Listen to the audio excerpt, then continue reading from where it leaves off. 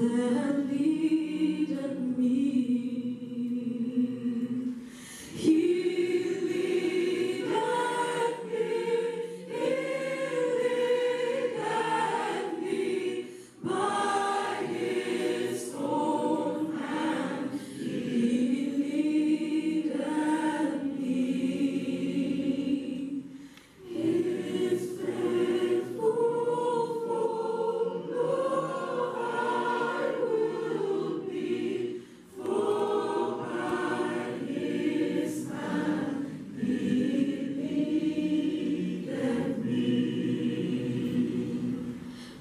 would, I would clasp thy